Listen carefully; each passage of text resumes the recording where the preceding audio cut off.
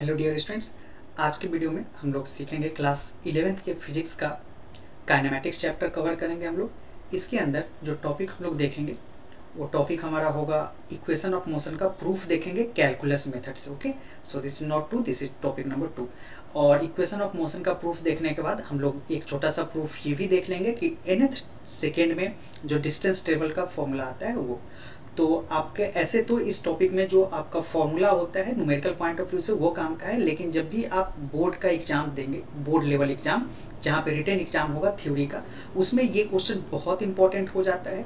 Class ninth के अंदर भी आपने इसका प्रूफ पढ़ा होगा बट वहाँ पे आपने जो प्रूफ पढ़ा होगा वो ग्राफिकल मेथड से पढ़ा होगा, है ना? ग्राफिकल मेथड का प्रूफ पढ़ा होगा और नाइन्थ क्लास में एक बार एग्ज़ाम में ये टॉपिक आता है। तो उतना ही इंपॉर्टेंस यहाँ भी रखता है बट अब की बार हम लोग कैलकुलस मेथड से सीखेंगे। तो इसके लिए जो दो इंपॉर्टेंट चीज़ है कि आपको कैलकुलस बेसिक कैलकुलस आना चाहिए, है ना?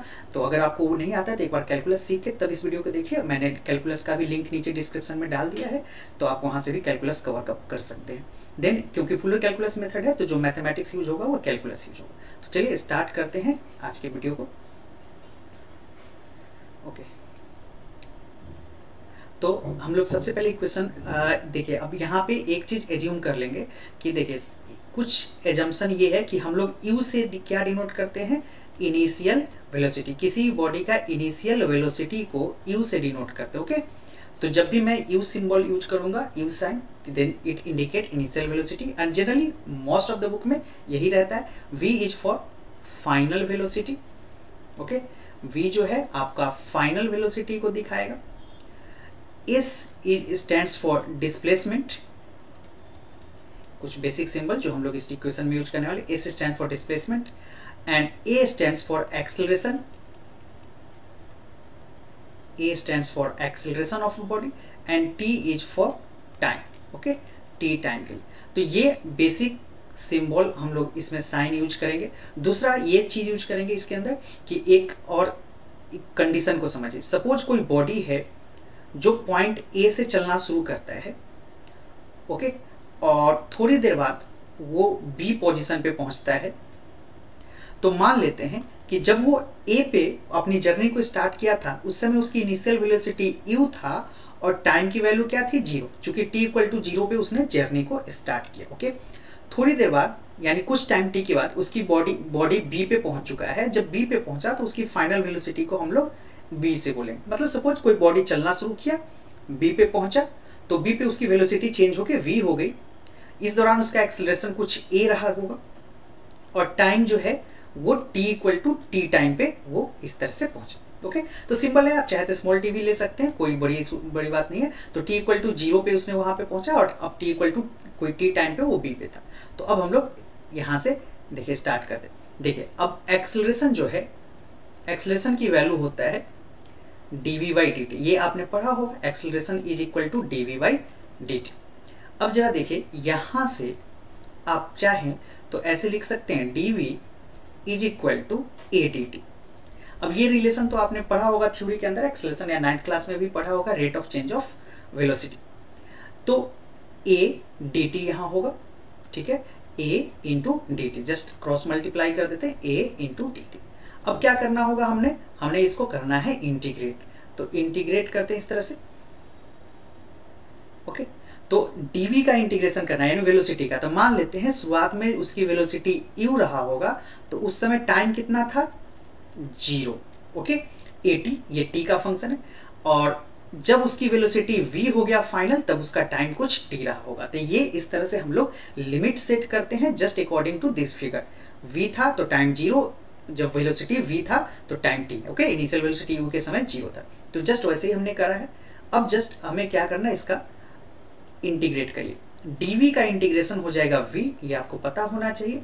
और लिमिट लगा देते हैं। U is lower limit and v is upper limit इधर का इंटीग्रेशन ए डी का इंटीग्रेशन करेंगे। तो देखिए ए आ जाएगा बाहर चूँकि ए कांस्टेंट है ओके इस दौरान इसका एक्सलेशन जो ए था, जो कि कांस्टेंट था। तो ए कांस्टेंट है, बाहर आ जाएगा डीटी का इंटीग्रेशन हो जाएगा टी ओके डीटी का इंटीग्रेशन हो जाएगा टी हमने क्या करा यहाँ पे? एक्सलेशन ए को बाहर लिया डी का इंटीग्रेशन टी करा, और लिमिट ज़ीरो से टी सेट कर दी।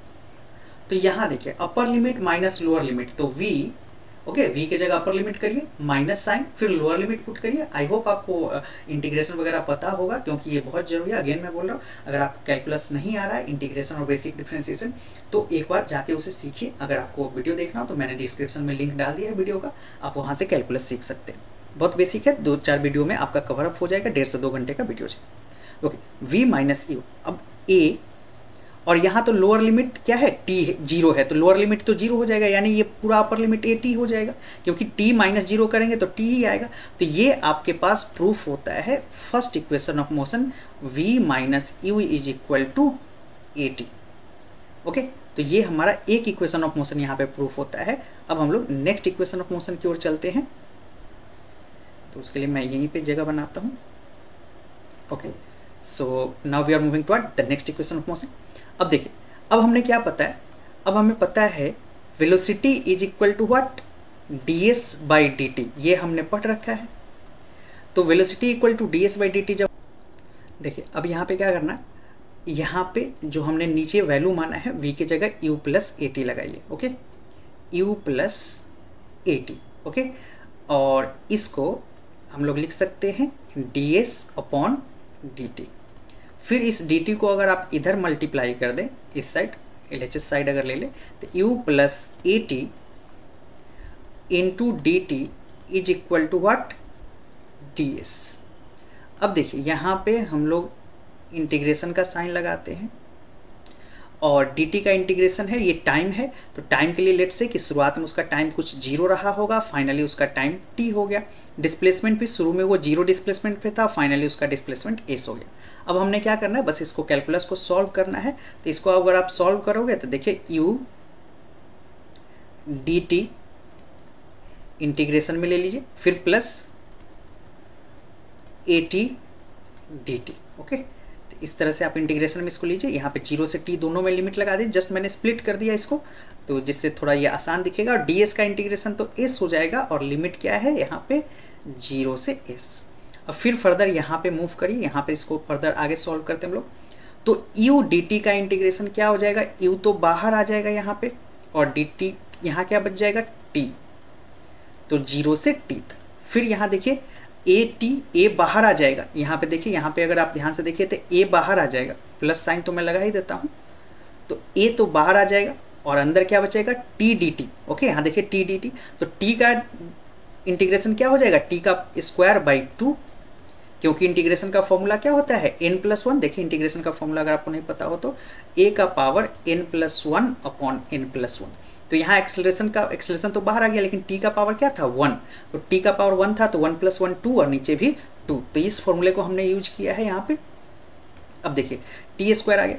अब यहाँ पे अगर फिर फर्दर मैं सॉल्व करूँ तो यू यहाँ लोअर लिमिट ज़ीरो है तो यहाँ टी का इंटीग्रेशन सीधा टी हो जाएगा u t and plus a t square, यहाँ पे देखिए इस साइड का रह गया एस लोअर लिमिट ज़ीरो है, अपर लिमिट एस है तो ये एस हो जाएगा। तो यहाँ पे क्या आ जाएगा? A t square by two is equal to s. तो यहाँ से सिंपल सा इक्वेशन निकल के आता है, s is equal to u t plus half a t square. S equal to u t plus half a t square. Okay? So, this is our final answer about the second equation of motion तो ये दो equation of motion हमने proof किया। एक और रह गया है है ना? एक यहाँ पे हो गया, एक ये। नेक्स्ट पेज पे हम लोग next equation of motion solve करते हैं। अब देखिए, अब हम लोग फिर से जो third equation of motion solve करेंगे, उसके लिए देखिए, हम लोग क्या यूज़ करेंगे? फिर से v इज़ इक्वल टू हमने क्या पता है? D s by d t okay d s by d t अगर मैं इसमें ऊपर नीचे डीवी डीवी से मल्टीप्लाई कर दूँ तो इक्वेशन पे कोई फ़र्क पड़ता है क्या? कोई फ़र्क नहीं पड़ता। मैथमेटिकली मैं ऐसा बोल सकता हूँ। Velocity equal to displacement upon time और ऊपर नीचे मैं सेम चीज़ से अगर मल्टीप्लाई डिवाइड कर दूँ तो कोई फ़र्क इससे इक्वेशन पे मैथमेटिकली नहीं पड़ता। uh, मैं ऐसे लिख सकता हूँ। V equal to d s upon d v and d v by d t अगर मैं इस तरह से लिख दूँ तो इक्वेशन पे मैथमेटिकली कोई फ़र्क नहीं पड़ता।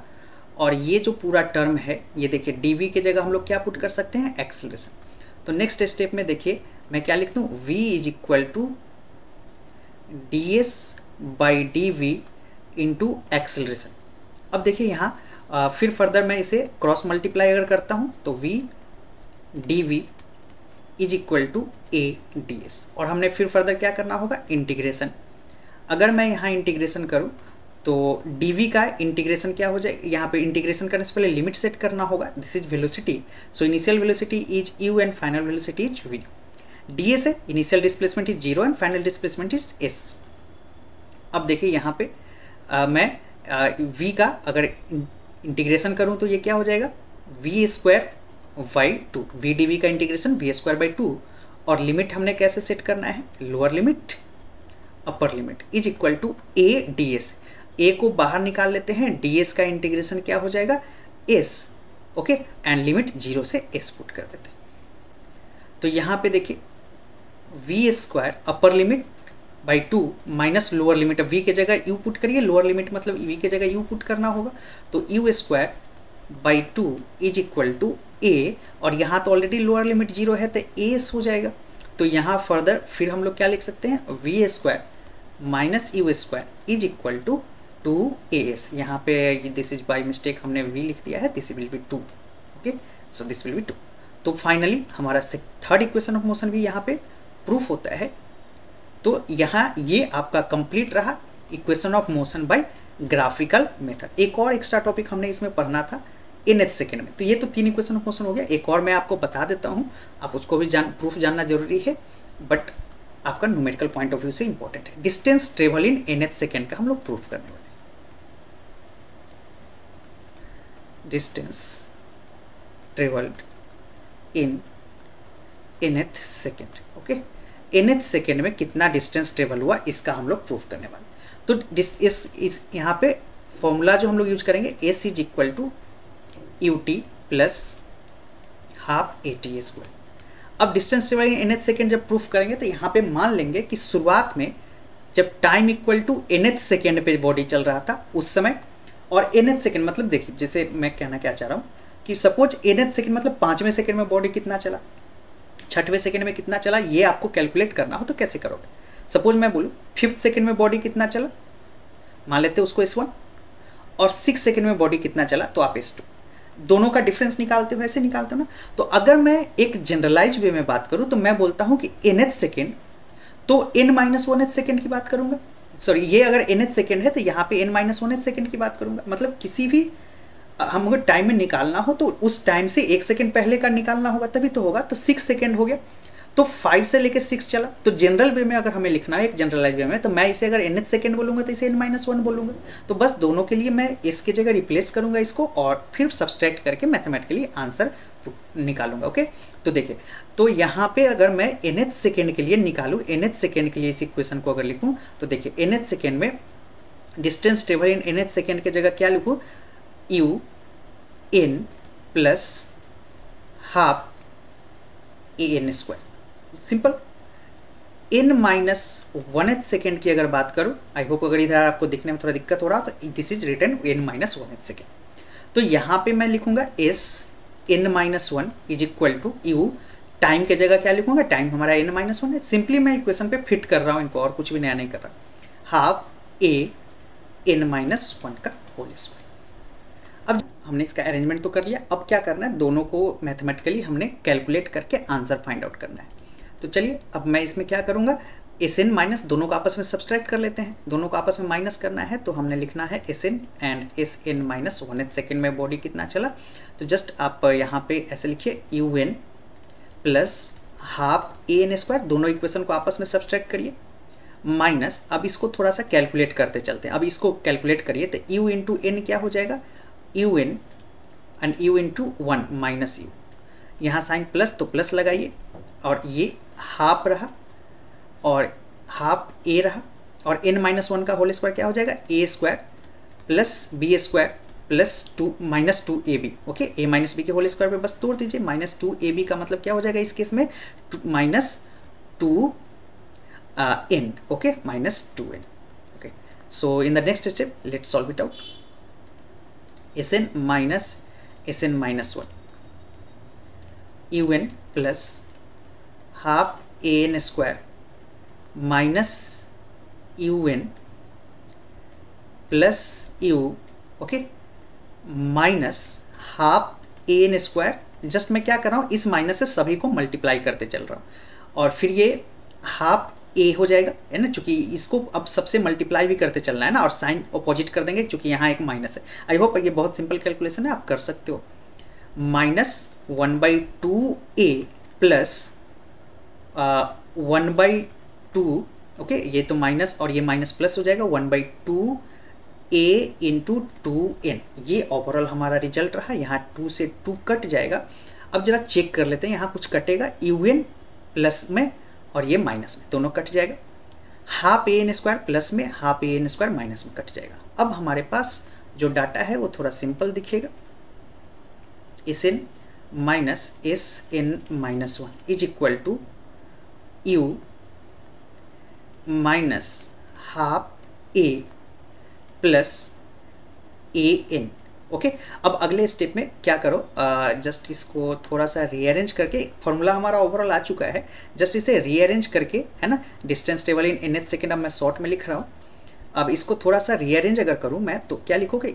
यू अगर मैं minus a one a common निकाल लूँ ए कॉमन निकाल लूँ तो अंदर क्या बचेगा? One by two plus n okay minus a common निकाल लूँ तो यहाँ पे बच जाएगा, यहाँ भी बचेगा माइनस। ठीक है ना? यहाँ भी आपका माइनस साइन बचेगा, okay? So minus minus plus a n हो जाएगा। इसको फिर फर्दर अगर सॉल्व करो तो यू प्लस ए, थोड़ा स्टैंडर्डाइज फॉर्म में जस्ट मैं कर रहा हूँ। यहाँ पे माइनस ही साइन ले लेता हूँ, कोई दिक्कत नहीं। आप चाहो तो प्लस भी ले लो नॉट एनी इशू ये क्या हो जाएगा? टू, ए बाई टू, और ये two minus one minus two n okay one minus two n so this is your final answer otherwise आप प्लस में अगर लोगे ना तो जनरली बुक वगैरह में इस तरह से भी फॉर्मूला लिखा सकता है। U plus a by two two n minus one so this is your formula आप दोनों में से जो मर्ज़ी यूज़ कर लो बेटर ये है है ना? जस्ट एक रीअरेंजमेंट है, आप प्लस अगर बाहर निकाल लोगे कॉमन तो अंदर माइनस बच जाएगा। तो इस तरह से आपका distance travel in nth second आएगा। तो जस्ट एक प्रूफ है।